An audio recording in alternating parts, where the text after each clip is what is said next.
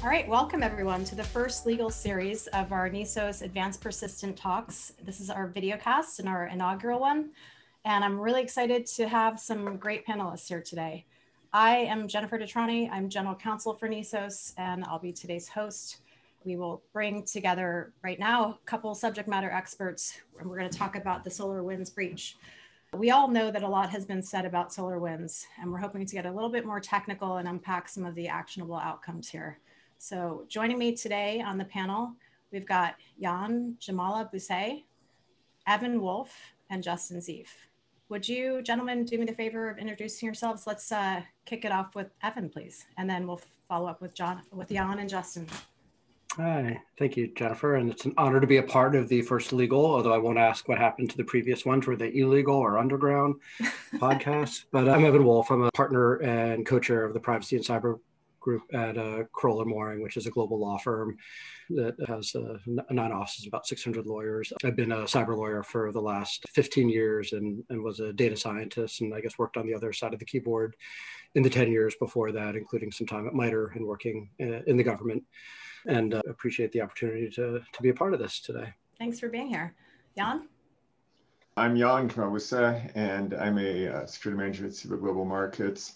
I have to disclaim that these are all my personal opinions, not the opinions of my employer. That being said, I my experience is a, a blue teamer for the last five years, and before that, I was a red teamer for the government for about eight years. And if I could add into the disclaimers, just because I, I guess I'll, I'll get wrapped on the knuckles with my various disclaimers. First is that uh, nothing I'm saying should constitute legal advice, even if it's really good or would require you to pay me. It, it isn't legal advice. And, and second of all, nothing is, is my, these are my personal opinions, not based on any client or other information that I may or may not have learned about. Awesome. And you guys kind of beat me to that because I was going to do that for all of us. But but on behalf of NISOS, also, we want to just make sure that we represent that what we're discussing today is just general consumption.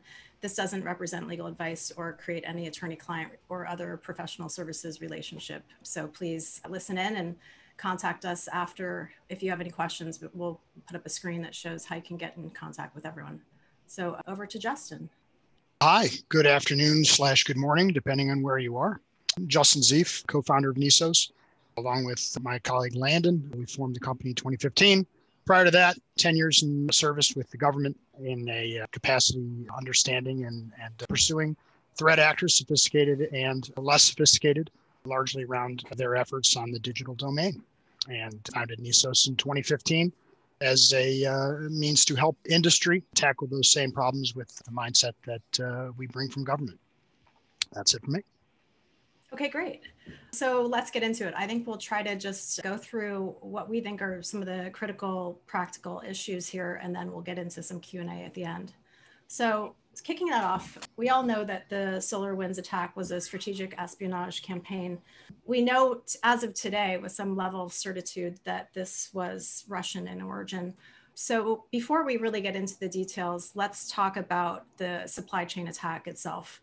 Jan, if you wouldn't mind, can you give us a little overview of what happened? I, and, the exact days, I believe, were somewhere in Oct- was October or August. I, I, can't remember exactly when FireEye de- determined that they had been uh, compromised. And from that, they, they did an analysis of the network, saw that they were getting some connectivity coming from an unexpected to an unexpected device, some logins. They did the determination that it was coming from SolarWinds. They that was they were contacted in turn. In December, the warrants or the notifications were put out to everyone to state, hey, there's a problem here. It came through DHS because it's, actually kind of a matter of national security at this point because as you can imagine, a lot of the government uses solar winds in addition to Fortune 500 companies. I think there was a total of 18,000 known incidences that, that uh, are still under research and individual companies are still trying to determine what's going on. And the actual period of time for the compromise of solar winds as a company is unknown, at least not specifically known. The supply chain attack started, though, at least I believe in, I'd have to double check my time, days at this point, but it, I think it's been at least for a few months. October is, I think, when the is, is, is at least the the latest that it has. So I think it might, it's been, it's been longer than that even. Yeah, I think I think it, I think my understanding is it's between March and December. Yeah. And I and just to back up a little bit, so so the the SolarWinds itself that's an IT management platform, correct? So a lot of companies and the government relies on that heavily to understand its its its network configurations. Is that right? Right. Yeah, it's it's used for managing network configurations for a large topologies. It, it's it's a very good tool to make sure things are working. They're in the correct status configurations. Make sure everything's uh, as expected, basically. Got it. Got it. Okay. And and Evan, I know you've talked a lot about this this attack, and it's pretty fascinating how how how deep they got and all of the ways that that happened. Can you tell us a little bit about how how the attack was actually orchestrated, like the updates and how it was pushed to all of the the environments? Yeah, just building off of what what Jan said, you know, it, it really did start back in uh, you know September of 19 when when the threat actor had access to the SolarWinds environment and and and began injecting and testing code in their I assume their development environment first, or uh, actually unclear where it was injecting code into, but it did that for a few months up until it looked like no November, and, and all of this comes from the the SolarWind 8K filing to those that are uh, not on the legal side but on the uh, tech side. 8Ks are a disclosure that that certain size uh, certain companies have to disclose to the SEC, and they do it in the form of a of a regulatory filing. And um, most publicly traded companies have some version of 10Ks or 10Qs or 8Ks. And, uh, and so it really, you know, it, it, that's when the threat actor began building what's really seen as a very novel and, and sophisticated backdoor into the SolarWinds the the Orion software, the software that SolarWinds uses to to to to to do the you know once again widely used by I think the numbers over 300,000 customers. And, and, and then, it, and then what, what began happening then is the, the threat actor was able to use that access to, to, to, and this is where the word supply chain attack becomes the sort of most important description to then attack others in the supply chain. And, and since it wasn't known about at the time, you know, we didn't know about it until over a, almost a year later until the sort of the, the good work of, of a FireEye. You know, it really was a sort of an invisible attack, but also began attacking. It's sort of like the the thing that at least th- those of us that have been around sort of security for for a decade or more it sort of was the what we always thought of was our equivalent of like a pearl harbor was when someone starts you know getting in, in a supply chain very deep and very and very wide and and with such persistence that we weren't able to determine it. And that's that's what's so different and significant and and about about about the sunburst solar wind attack. And sunburst is the name of the actual malware the backdoor itself is you know people throw around a, a, a, ton of names especially to the lawyers and the on the call that are quickly googling. We'll try to do as much decoding as we can during the course of the podcast. So so now we've got a lot of companies kind of scrambling to figure out what it means to have to possibly have a backdoor in your system. Before we get into like focusing on what it means from a from a legal perspective and what what what companies are trying to do to remediate or to understand. And also what security practitioners are doing as far as best practices here. Justin, can you tell us a little bit about what we know about who is behind this attack? Yeah, it's, I believe there's near universal consensus that this was a uh, Russian government sponsored attack, as distinct from sanctioned. This was their activity on their dime. There was some rumblings that this might be SVR, but it's looking more and more like uh, an FSB operation. There are, I think, just today or yesterday, some reporting that shows similarities in what you could think of as the signature style or the the, the handwriting style of the code that was utilized and the manner in which it was compiled and, and, and built seems to match some of the code that they've used in the past. And there are other uh, indicators as well that, uh, that this was a Russian operation and of course makes sense that it would be. This this would be a you know a, a tier one target for them if not their most valuable operation that they've got going. Awesome. Okay so we've laid the foundation. So so over to you evan. What kind of problems does this present from a legal standpoint? What what are lawyers like you focused on on behalf of companies who are seeking guidance? Yeah i mean i always think of investigations and since i sort of do do investigations for a living, I always think of them as like a an onion on some level that we have to start off with the the first part of any investigation needs to to be an understanding of of does the does the third party or in this case the threat actor have any sort of persistence? Are we safe? Can we trust and use the environment and the infrastructure that we think was accessed and and really that that that that includes sort of a you know a doing a quick remediation. Oftentimes that involves bringing in third parties such as forensic firms sometimes even excellent forensic firms like nisos uh, and and, and in which case we want to make sure that that is a privileged engagement. And that's the first part that is is sort of i would say fraught with peril given there's been some recent court rulings coming out of actually capital one was the last of the court rulings but of, of how to safely engage third-party forensic firms to, to, to make sure that, that that is covered under the attorney-client privilege and that you're, you know, it's a part of the conveying of, of legal advice.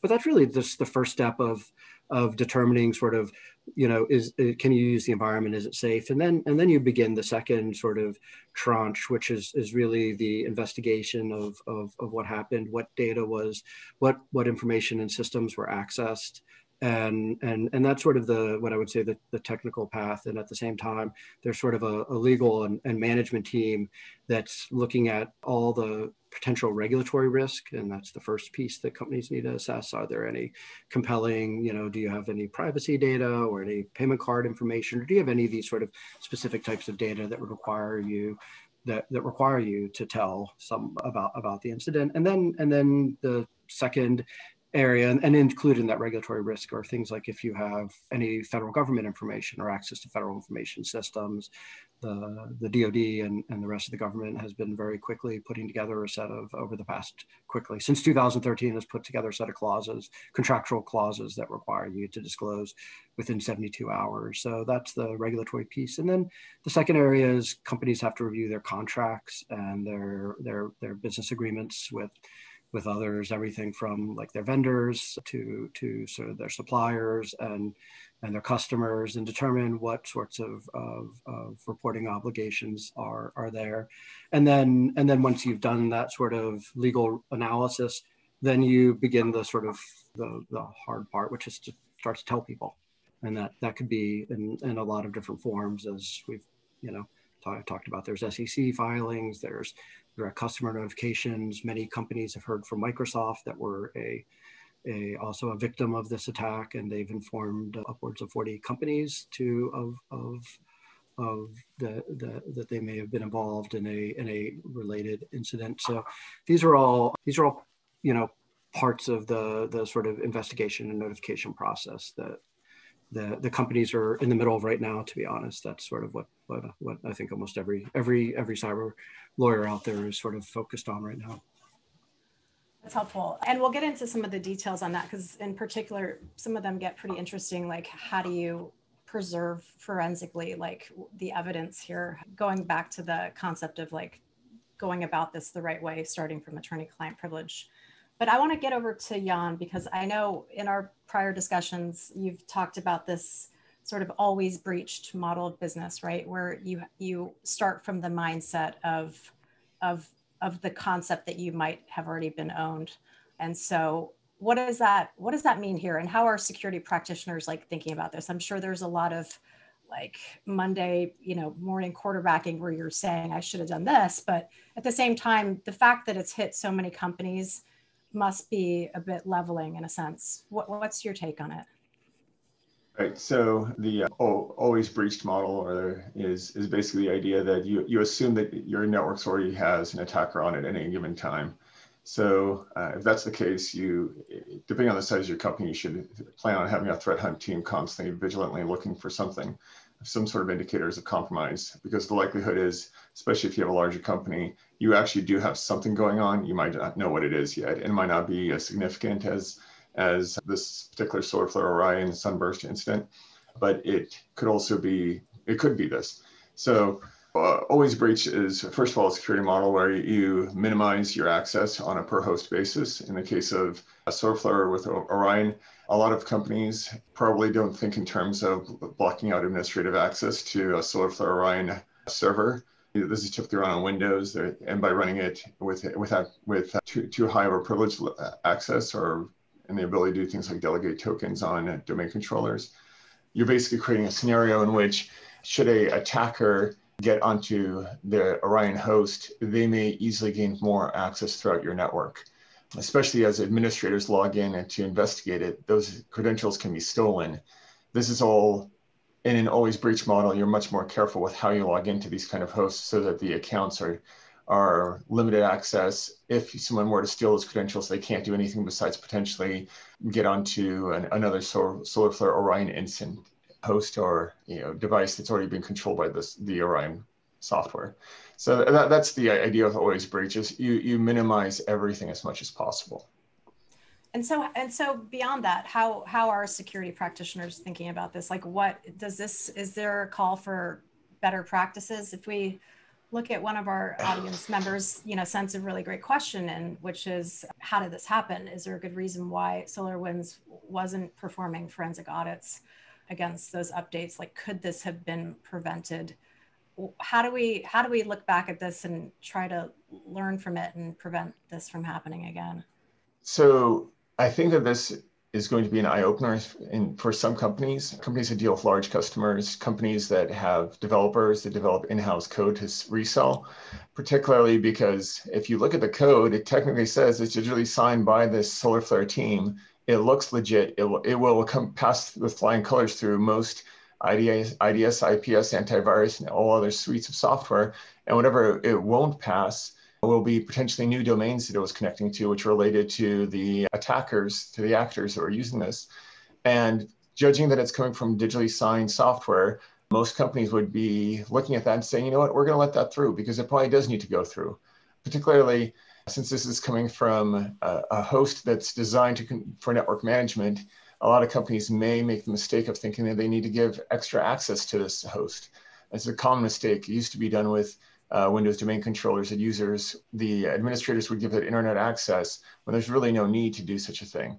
Likewise with Orion, there, there really is, in many ways, in many cases, no need to give internet access to these kind of hosts, and yet we do it because it simplifies administration, it simplifies updates, and and this is one of the repercussions. Now, from a you know quarterbacking perspective on, on looking at what this looks like as an aftermath, the postmortem, uh, I think that a lot of companies are hopefully going to re- recognize that the need for things that they've already heard from their security practitioners, whether it's network segmentation or it's um, minimal privileges for accounts. Hopefully, I, am sure some companies got hit by the classic usage of a Windows administrative account to administer the Orion server, which would could be devastating potentially. Fortunately, there's also uh, pretty strong indicators that allow most companies to be able to determine should they be logging well, which is another critical aspect of, of working through this particular incident is if they have enough logging, they'd be able to determine whether or not the compromise is actually deactivated by the attackers. Now, does that mean that the attacker is off the network? Not necessarily, but it would potentially mean that the attack, you know, when the attacker stopped looking at your Orion host as the uh, point of entry into your network, at least. Got it. And I actually read somewhere that uh, I think in connection with the class la- action lawsuit against against SolarWinds, they're alleging that the update server password was actually SolarWinds one two three, which right. which I I think you know we see that happen quite a bit where companies get a little bit lackadaisical in that. And, and obviously, if you've got a nation state kind of sitting on the other end of things, waiting for you to mess up, that's a great place to, to give them a point of entry. Towards that point, what are the implications of this from a US government national security standpoint? Justin, you've got some background that might help us uh, answer that. I think all of us do, but I'm happy to take a take a crack at that yeah, I mean they're they're extraordinary to put a fine point on it. Th- these actors knew what they were doing. They moved low and slow. SolarWinds is has been known to have had administrative credentials for sale on the dark web as early as 2017. It's no surprise, it should be no surprise to anybody that a company like this, which is generally allowed to have privileged access to the environments in which it operates and to update remotely, is going to be a target for, for, for the actors. So, what are the impacts, national security impacts? Well, you know, understanding how these attackers work, especially the well-financed ones who are able to move low and slow over a period of time to minimize uh, the likelihood of detection. They're going to gain entry, establish persistence, move laterally, and then move vertically and, and try and you know capture the flag or assert control over the domain controller or something that they can do while still remaining undetected. And so it's, you know, to, to Jan's point about not seeing any communications with the initial command and control servers that had been established to, you know, to support Orion as they were making their way into the environment, they can abandon those once they've established secondary or tertiary access to the environment. And if they are able to, and reporting is that they were, eliminate their the, the the trail or the fingerprints or the forensics evidence of their of their uh, presence on the network as well as any information that they might have exfiltrated or anything that they might have additionally placed on the network. If they're able to wipe those things it's going to be very difficult if not impossible to determine where in the environment they remain whether they remain. And i mean you, you have to do what you, either you are unplugging your entire network and rebuilding from scratch or you're going to be doing a persistent threat hunt to figure out what that is. What are the impacts? I mean, they're financial, they're economic, they're national security related, without really knowing, you know, the the, the bulk of what those 18,000 targets were, but also understanding that there seems to be an impression. I'm not sure where the facts are that support this, but it makes sense that they were only going to be aggressive with the targets that were of the most interest to them this is not an attempt, likely not an attempt, almost impossibly an attempt to just capture PII and to do ransomware and all of that. This is this is a really sophisticated effort.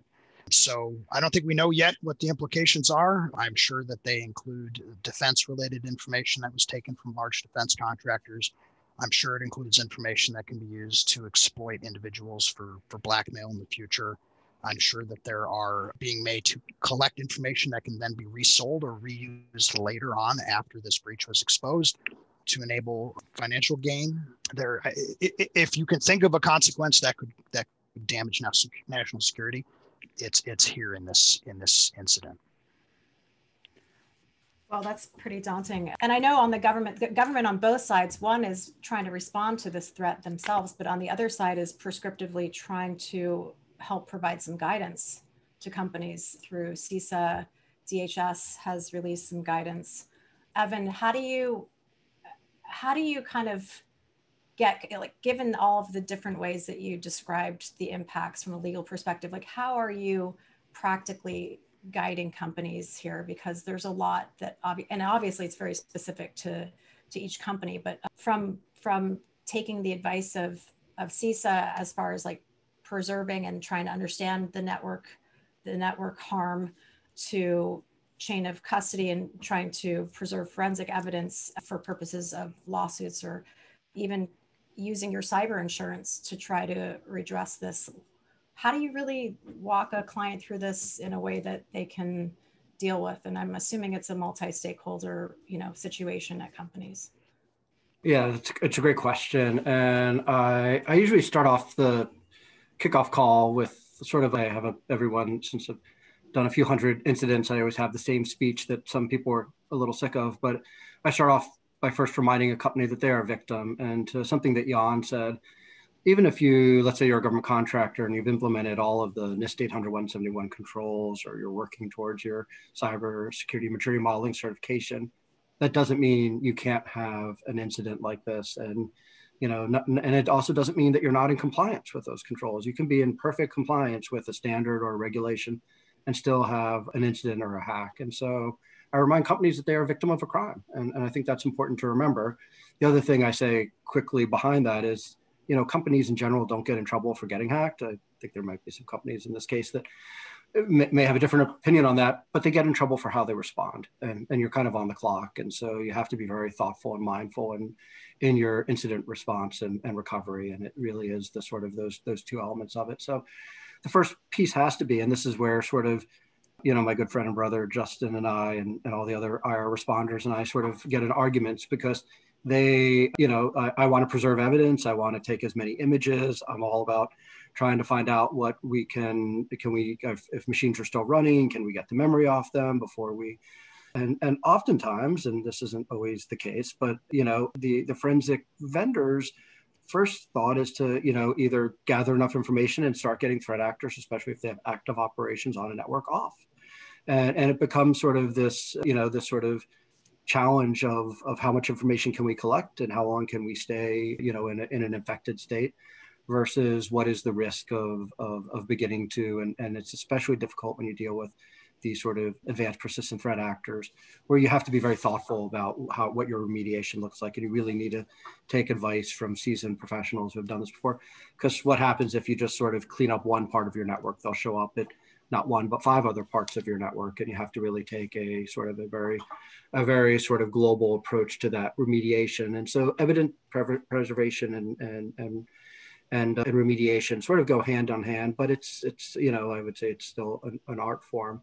There are some requirements for for for this that you companies have to think about. Like once again, not picking on government contractors, but they are focused here. You know, under the under the new the the, the clause, it's called the safeguarding clause or the 7012 DFARS clause. They're required to if they've had an incident on a covered information system which is the sort of the trigger for reporting. They not only need to report within 72 hours of discovery, but they also need to preserve that information on that network, the, the information system for, for, for 90 days. So, so there is sort of a legal requirement for some parts of the investigation, but ultimately it, it really, it, it comes down to sort of working really collaboratively between the you know between all elements as you mentioned sort of a team sport especially the initial few calls where where we're kicking these things off where where we need to be informed by by the, the, the forensics and what is the goal of the investigation. But we also need to be aware of what are the legal requirements and and it's and it's sort of a, a blend of both. And I'm, and I'm assuming that that communication goes all the way up to the board right? Because this becomes a reputation sort of injuring event that companies have to do they have to address properly or there's going to be long-term repercussions. Is that accurate? Yeah i mean so it, i mean it, it, yes increasingly boards are involved in significant cyber incidents but companies need to be thoughtful of their of of, of and, and careful and sort of what they tell the board. And once again boards have a very of companies especially publicly traded companies have a specific role in terms of providing oversight and uh, to, to companies. So they need to know about it quickly and, and they need to have the information that's that's that's important. But they also, you know, it, it you know, you don't want to yell fire without explaining what your plan is to evacuate sorry for the bad analogy evacuate all the all the people and and start putting out the fire and that's where i you know i always sort of when when we do board notifications i want to make sure we're not only explaining what the problem is, but what what what the company is using, what what the resources, and and what the company is doing to sort of solve solve the problem. And that's also true for in, insurance insurance notification. You know, I'm a huge fan of, of checklists. Just to so Jan and, and Justin don't start beating me up. I'm not saying we should do security by checklist, but using checklists as a way of making sure that you're you're you're understanding what your you know what your notification and, and what the steps of the process are because notifying also insurance companies is, is required and they they are often eager to hear about this and and will will pay. I mean it, the coverage depends on your policy but but having sort of an open conversation with them but also just because i'm a lawyer thinking about what you're telling them because once you're you tell a third party it's no longer protected under privilege. So you also have to be thoughtful about about that and I, I, guess one of the good things is that we've in our industry we've we've done a lot of tabletop exercises and incident response is nothing new to to any of the people on this call. But jan do you have any particular advice about how as a security practitioner especially within the financial services industry which is highly regulated how best to communicate these types of things or how best to work with other stakeholders uh, on these types of projects to to get the result that you need and to execute against these checklists effectively. Right. So, you know, security should be working with our the uh, audit team and the compliance team, depending upon what the exact the, the organization and how it's regulated. But ultimately, the things that need to happen are you, you, need to develop a game plan. And, and, and to Evan's point, checklists are a good thing, especially from a postmortem perspective. You, you do need to make sure you, you have things like chain of custody properly mapped out. Otherwise, you, you lose integrity of your data and, and, and then the ability to prosecute on it is, is you know, diminished. And I'm not even talking from a law enforcement perspective, I'm talking from an internal perspective, so you will know exactly what you're looking at. Likewise, I, I think that you you need to make your audit and your compliance teams partners and not adversaries. And some, some companies, it's not uncommon to feel like security is constantly being pushed. And, and in this case, that's that's not going to work. You need to work together to to use the use these as tools to create the findings you need to make sure the systems you need are properly configured. From a threat response perspective, once you're there, that it's it's a question of looking through all the forensics, obviously, and and sometimes you can you shouldn't have any problems, but you know it's it's helpful. I just want the record to reflect that I had a security professional agree that a checklist is a good thing for all the security professionals that hate checklists. So want that to be known. We have it recorded. Yeah, I'm afraid that there might be a gap in the recording here. Engineers take a look at that later on. I think it might have been uh, hacked, and there may be a deep fake going on here too. So you got to watch out for that. yeah, and these these now Evan, I like check. I like checklists too. I'm going through a checklist right now, so so I, I particularly like it. I'm going to move down that checklist and hit you up with another question, which is, how are regulators going to be looking at this incident?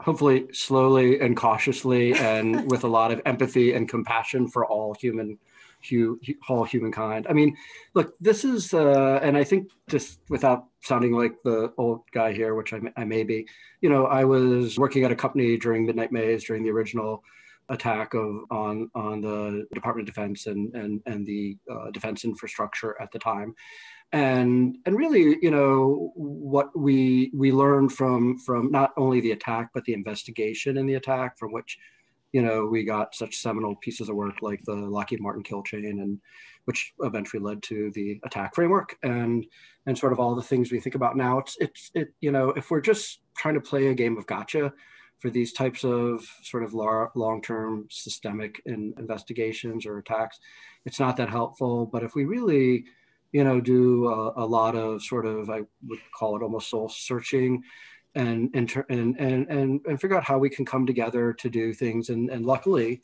I would argue we were already on the path to doing this. And so, if there are any regulators listening to this, what I would say is sort of you know the answer is without making it sound like we're also a, a, Buddha Dharma podcast, but you know the the answer is already sort of in front of you. If we look at the the basics of what the cyber cybersecurity maturity modeling certification and the NIST 800 171 standards, if we look at what what industry has been doing in general around the cybersecurity framework and and these ideas of how we sort of assess maturity and and and begin to sort of create these sort of ways for companies and industry to work together. I mean, I, the one thing in the SolarWinds 8K, or one of the things in the SolarWinds 8K filing that I like the most, is they really focused on the unprecedented information sharing they've had and industry has had together. And, and the more we can come together and do a collective defense, is great. And, and the good news is not only do we have a regulatory framework that does that for many of us, we just finished a, a sort of, you know, a very, a very comprehensive long-term review with the Cybersecurity Solarium Commission, which was a sort of congressional led, but, but, but bipartisan and very encompassing review that, that led to a set of recommendations. And those recommendations have actually already Many of them, I believe almost half of them, have been implemented into law in the, in the most recent National Defense Authorization Act. And, and so, you know, we have many of these pieces in front of us. So instead of saying, like we did around Midnight Maze, that, oh, you know, we don't even know how to answer these questions, it, it should be to regulators, okay, what, what do we need to do more of? What do we need to do less of? But let's not reset the playing field because that, that is really, I, I think that would be un, unhelpful. And, and, and, and my last point is that as I remind every call I'm on with the FBI or DOJ that that my clients and these companies are yet again, once again, victims of, of, of a cyber incident. None of these companies have Scud missile defense programs and they don't worry about defending themselves from foreign nation state missile attacks. And so they shouldn't be responsible for defending themselves in this case entirely on their own. And, and it's that sort of coming together piece that that we that this is really a demonstration of how we need to evolve and and that's why sort of I, I always begin every every sort of uh, thought or when I teach class with the let's talk about collective defense and, and, and operational collaboration and that's what works in the battlefield and that's what needs to happen here as well. Some great points, and I think I think you're absolutely right that there's a growing sense that without collaboration between private sector and public sector, like we're not going to be able to be able to overcome these types of attacks effectively. And so we've got to start trusting each other, working together.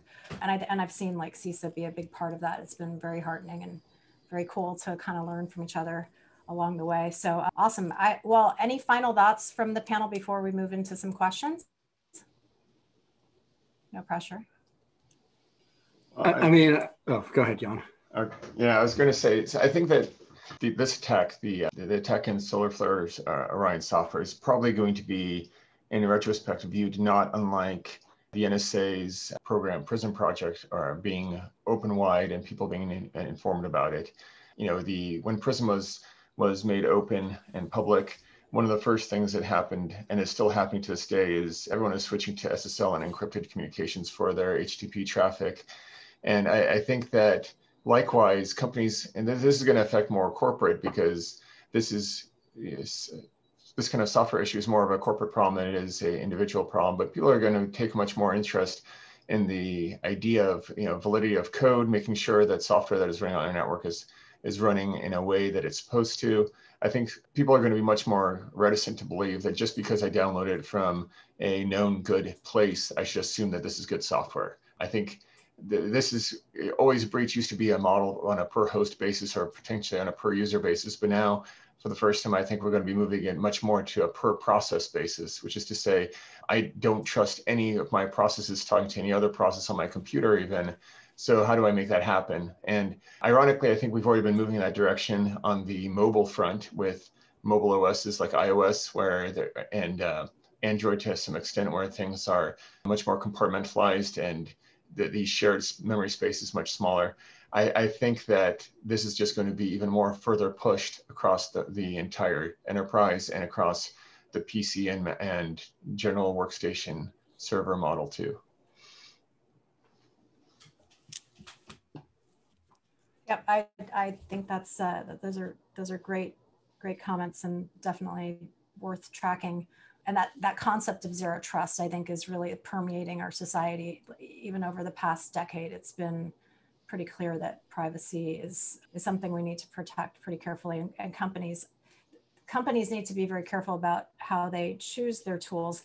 I think here it's a little bit concerning though, because this seemed like a very mainstream tool that companies could just bring on and there was a sense of security around its use. I mean, as evidenced by the fact that so many companies were relying on it, not not not the least of which is the US government. So that that piece I think is going to be kind of interesting that even if you meet the standards that are required, how do you actually still prove up the ability to withstand a nation state attack? Like that might be a rhetorical question right there, but that's probably the crux of the issue for a lot of security practitioners and, and legal practitioners alike. I'll add a note about what I what's next, right? What with all of the networks that have been compromised, number unknown, how are the threat actors going to leverage the access that they gained? Because I think that's an important question and implies effect the result of the cause that we'll start seeing in the near term for some of these companies. It's likely that as the presumably the Russians got in, they were collecting, exfilling all of this data, maintaining, like I said, you know, moving around the environment, establishing persistence. They were collecting all of this information that they could uh, capitalize on, either literally by monetizing it or by using that information to um, support their own political or economic goals internally. But they weren't going to action some or much of that information because it could tip the hand that they were that they had you know gained that access. So I think now that the gig is up, so to speak, in terms of this modality, I think we're going to see them start monetizing or profit profitizing off of the data that they've taken, whether that's by dumping, you know, uh, selling creds to environments that are sensitive where they've lost that access, or by selling the information that they exfilled from that environment.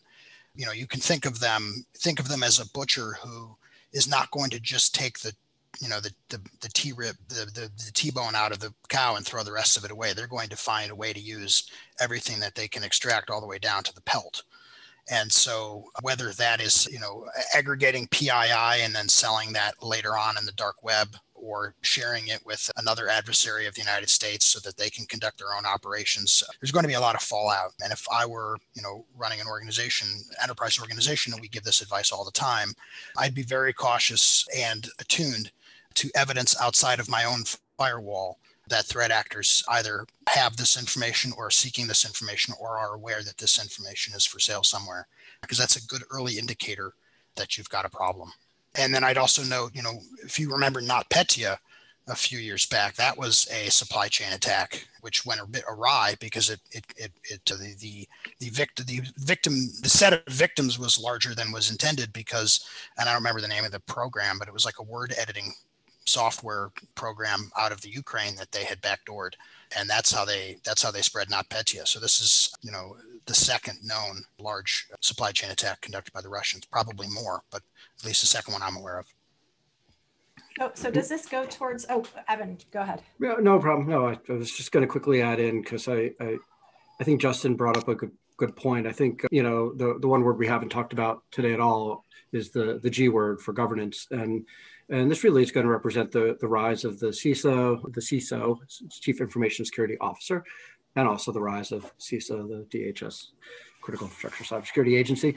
But uh, but specifically within companies, I, I, would say, especially coming out of there was some recent DOJ actions against a specific CISO earlier in the year that the companies often don't understand and don't have clear alignment on on what the role of a chief information security officer is. They they are you know a, a part of the, the, the C-suite, but they're often not sort of given the same sort of cloud or credibility of a CFO, and they don't have the same sort of accountability of other officers. And and I think you know what this represents because you know once again a company could have you know have a, a very strong investment in security as we've see many of these victim companies have invested you know hundreds of millions and even billions of dollars in security and they still were a victim of it.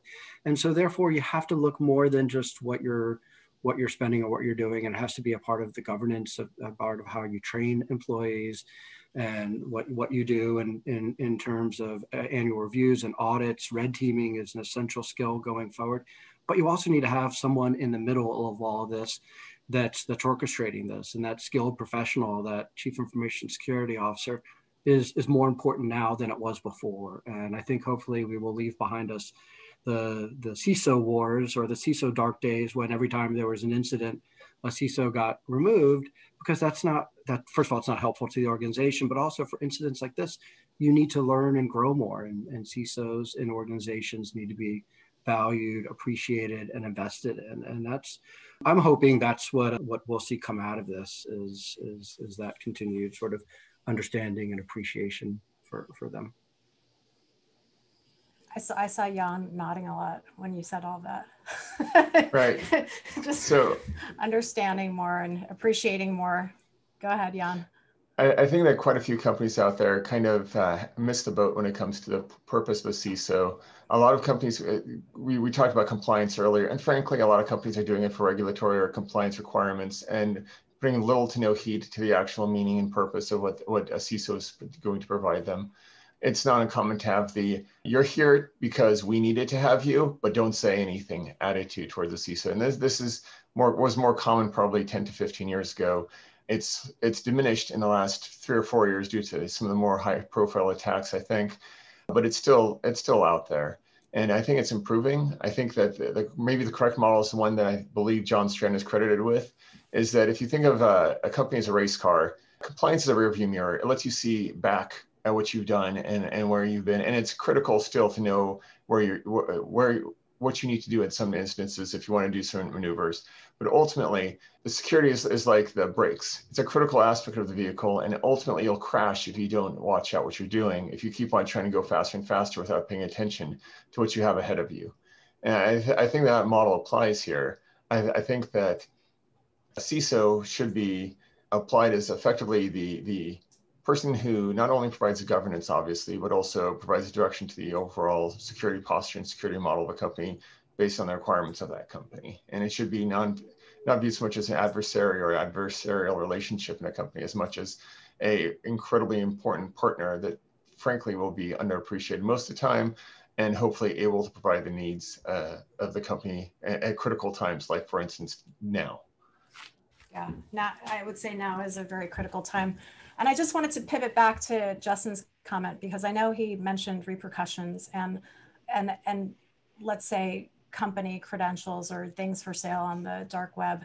and and that's probably an area that I see quite a bit in our practice, right? Where you have a CISO, he's got a certain set of tools, he's got certain people that he can rely on, but outside of that, there's other places that he needs to be able to access in order to be effective in his role. And so just like you know we or me you know i rely on my outside counsel to help round out my skill set and my generalist sort of approach to how i protect my company we NISOS come in and, and look at a lot of those um, instances and sort of provide some insights where those insights aren't already available.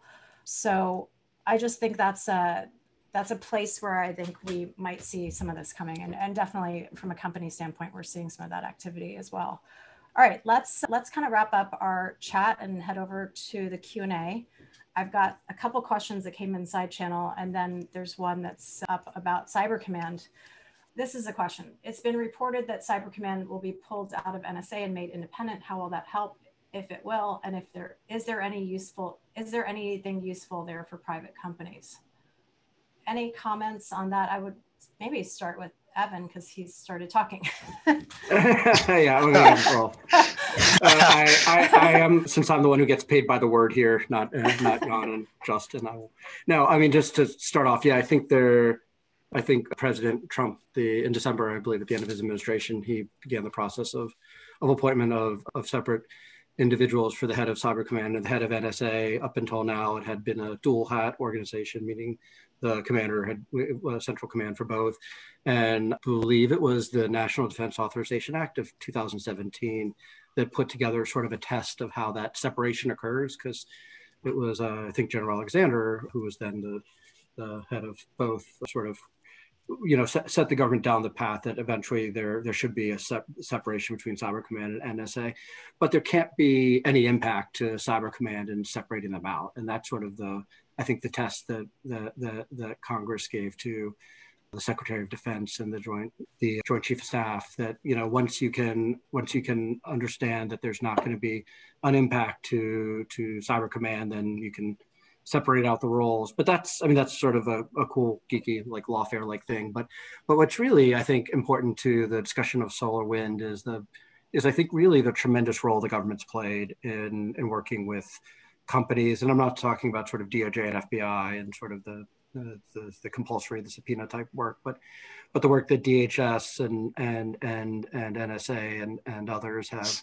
have played in sort of quickly analyzing some of the, the command control infrastructure, getting information, sort of collaborating like they did during the uh, you know election cycle to protect the election system. I think this has really been a not a success in that you know we all were hacked, but a success And, in I think the response coming out of government was very cohesive and unified and very helpful to companies. So that's my happy thought for the day. I like that. Anyone else want to jump in on that one or should we move to a, a final side channel question? No takers. Okay, the question coming in is, uh, how, does this change how we should be thinking about reasonable security standards? So presumably, does does the does the attack itself change like how we move, how it moves the needle towards assessing what's reasonable? I assume. I'm guessing reasonable in terms of what you should protect or reasonable in terms of how you should defend your network or your estate. I, I, I think of reasonable right. security standards as like a term of art that usually comes right. up in, in the sense of trying to assess compliance. So yes, I think I, like having a negligence case, yeah. what is what is reasonable security? Uh, yeah, I don't know if you want to start off or. Oh no, I think this yeah. is this is far okay. more. Well, here, I mean, I'll first look. like the, the Stuckey for the day on all the questions no one else wants to answer. So no, I mean, I, look, I, I do, I think the, the precursor to that question, and, and as I learned in my media training, always, always deflect questions with questions, um, is, is really, you know, is there, is there a supply chain security standard out there right now? And I would argue, you know, it, there really isn't a comprehensive one. I do think companies, are you know once again there's been like you know if you're in the payment card infrastructure or, or, or in the healthcare sector you have specific requirements for how you protect your data your network what what you and and and and I guess the best version of this was what what DoD was trying to do with the is trying to do with the cybersecurity maturity modeling certification, where we're saying we're not going to focus on individual company but your whole supply chain. So, I, but I think those are all different versions. But but even you know CMMC is going to affect over 130,000 companies, and even in just the 2021, the six contracts that they're focused on is is 700 companies. And so this is a massive. If we think about a company, an individual company going through and securing its supply chain, that's a, a, really sort of massive and cost intensive process. And it works well in the defense sector because the government, some of these are allowable costs and the government can pay for it. So what we really, I think, you know, are going to need to do over the next five and 10 years, if we want to get serious about supply chain, is come up with standards that are not focused on an individual sector, but can work across. And, and this is actually where I, I, know Johan and Justin and I all started thinking about where the security industry started thinking about things like the SANS 20 or the CIS 20. And when we came up with what are the basic security standards that if we all have this basic hygiene, we're all kind of okay. And I think in some case we need to go back to those types of standards so we can then, because to, to pick on accountants because they're easy to pick on. You know, we don't have like companies going through and saying every company has different accounting standards.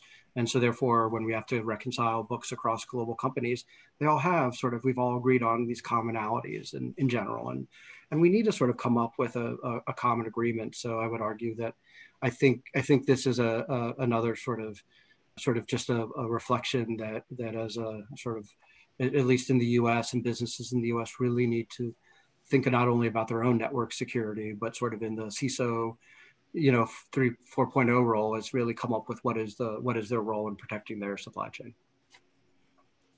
Good answer. Yeah, I, I, I think that's, I think re, what's reasonable, I, I totally agree with that. And I think what's reasonable, I think is also a metric of what what a reasonable company would do or how how a reasonable company would have approached this. And the, and those standards kind of move me into our next question which just came in which is did effective security teams prevent this from affecting their networks?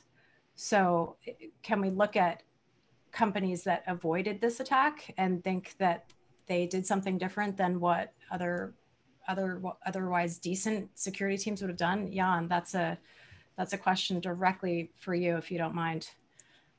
So I, th I think it would be disingenuous to say that you. I think honestly, to, to be perfectly blunt, I think you, a lot of companies got lucky. They got really lucky because the uh, net was cast so wide that there's no way that they were going to try to go for every target and try to fully execute on every target.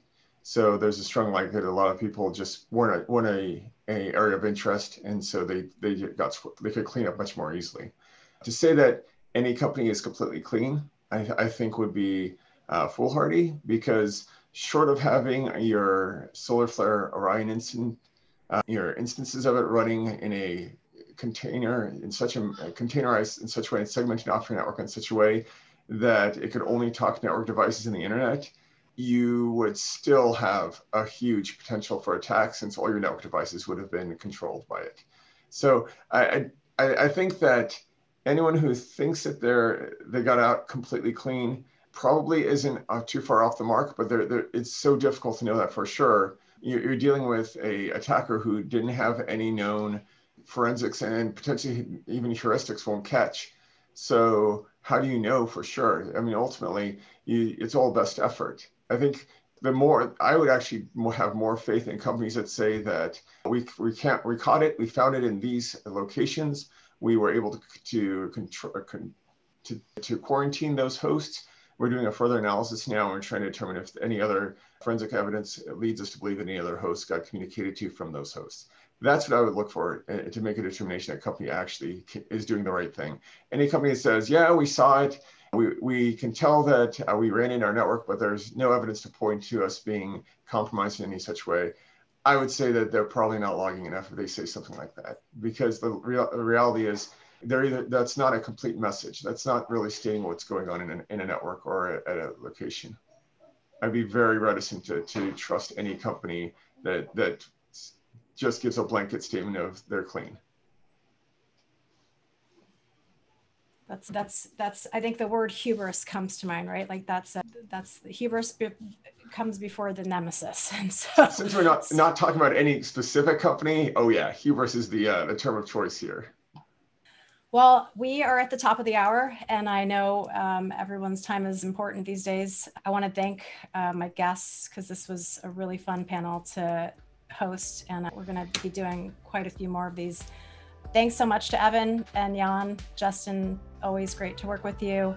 If you want to reach out to anybody after this event, please feel free to reach them at the uh, email addresses.